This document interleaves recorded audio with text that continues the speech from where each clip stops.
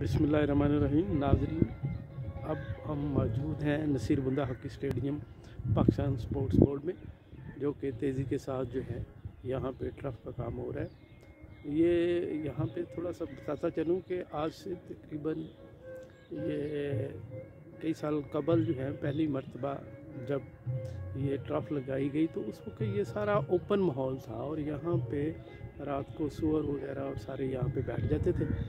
لیکن اب دوسری مرتبہ جب بنا تو اس میں چار دیواری بن گئی اور سارا جو ہے اور یہ تیسری مرتبہ بن رہا ہے۔ تو یہ بڑی خوشی کی بات ہے، لیکن یہاں پہ کم از کم ان کو چاہیے کہ دس فٹ جو ہے، دیوار ہونی چاہیے۔ کیونکہ دس فٹ اگر ہوگی تو کافی سیکورٹی کے والے سے ویسے بھی کافی مسائل جو ہیں وہ ٹھیک ہو سکتے ہیں۔